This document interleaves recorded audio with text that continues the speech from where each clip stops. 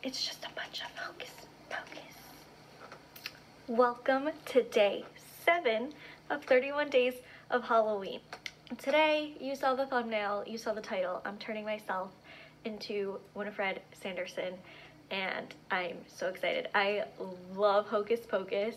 I love Bette Midler. I actually have a story about um, when I met Bette Midler in person that I'm planning on making a full video on because it's really embarrassing but also awesome because she's iconic and I love her so so much. Um, but yeah, so today we're turning ourselves into Winifred Sanderson. I am wearing a little bandeau, but I am going to make the rest of my arms and neck, décolleté, whatever this part of a body is called. I'm gonna make that look like her dress that she's wearing.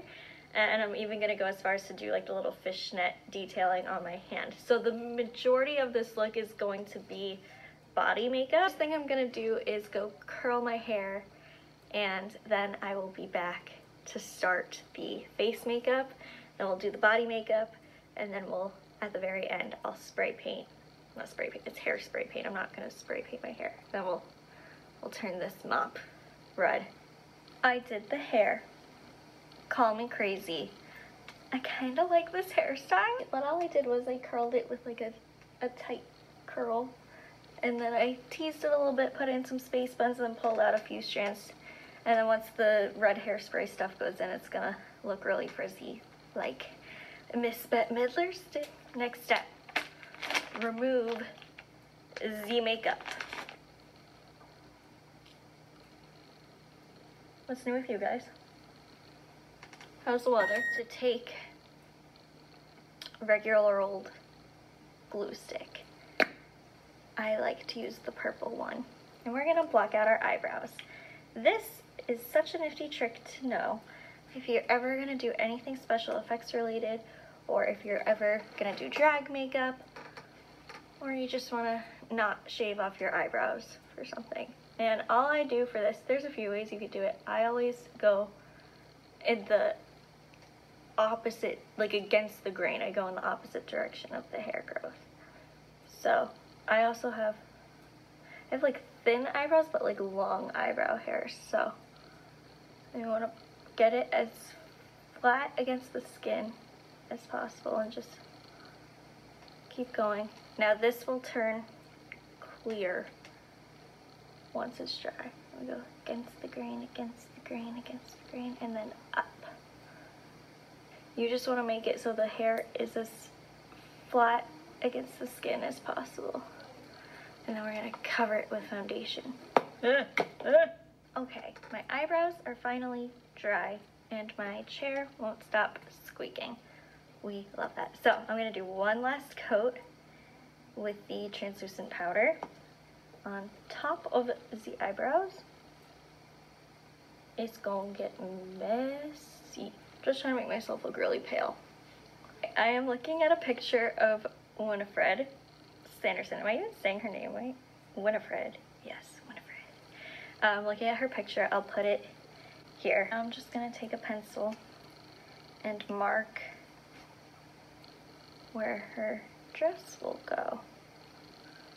It looks like it's gonna be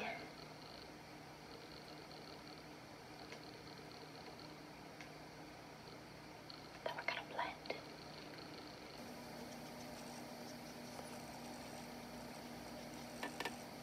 So, me personally, I have a lot of wrinkles up here, like long, they go across my full forehead. But if you look at Winifred, she only has on the sides of her forehead. So I'm not going to enhance my center wrinkle. I'm going to enhance the ones on the side.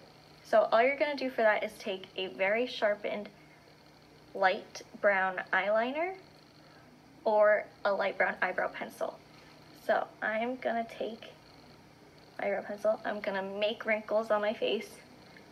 And we're just to draw the line where we want to enhance them, just like that. And you can add as many or as few as you want.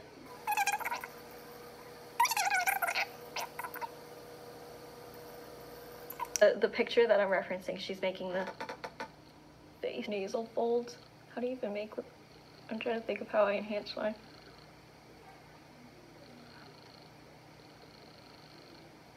Oh my goodness.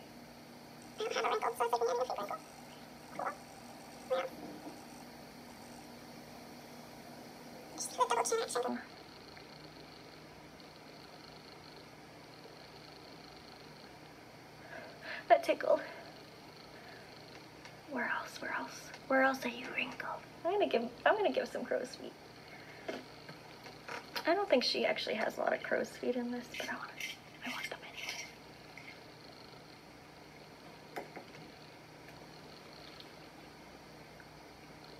He just has like an orangey nude color. So I think I'm gonna mix, this is the Jaclyn Hill palette. I'm gonna mix these two colors, see what we get. And then she's got some heavy eyeliner and some false lashes. That's what she's got rocking. And it's messy and it goes all the way up to the brow bone to really hollow out her eyes.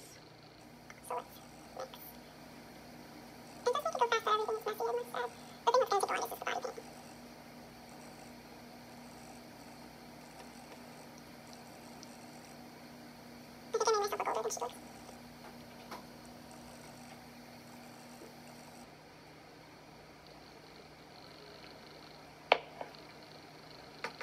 I'm gonna go do the eyeliner and eyelashes off camera. I'll be right back and we'll start the body paint. The purple goes down the center, like that, and like that. So all this is gonna be purple and she's got like the gold X's. Start with a lot of green, a lot of green, a lot of purple, and then we'll add some detail.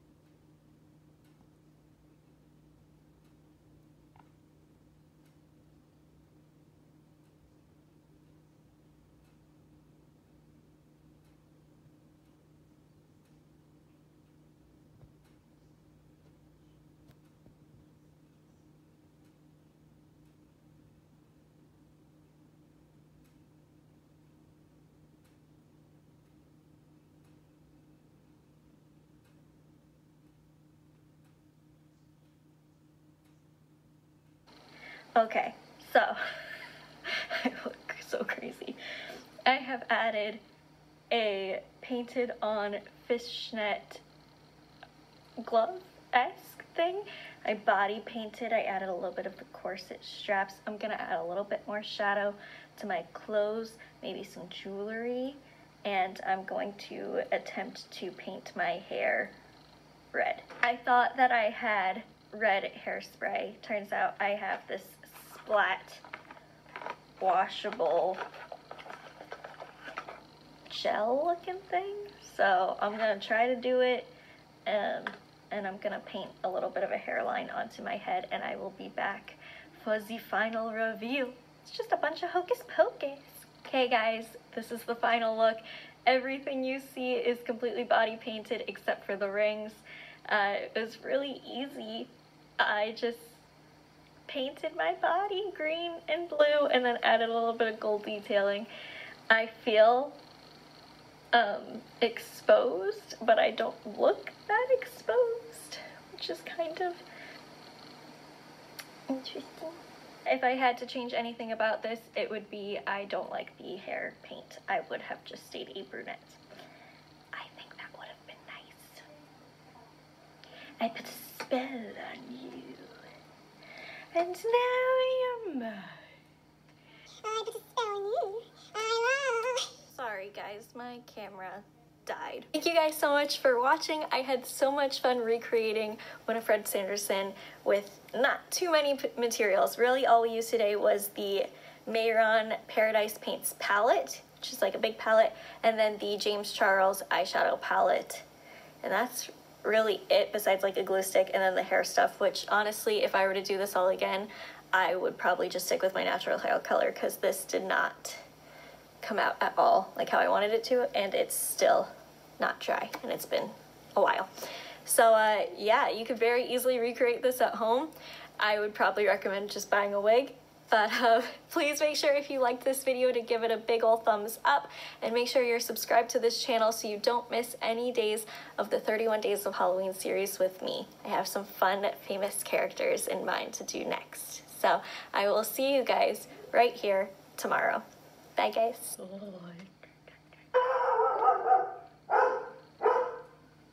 Not answering the door looking like this.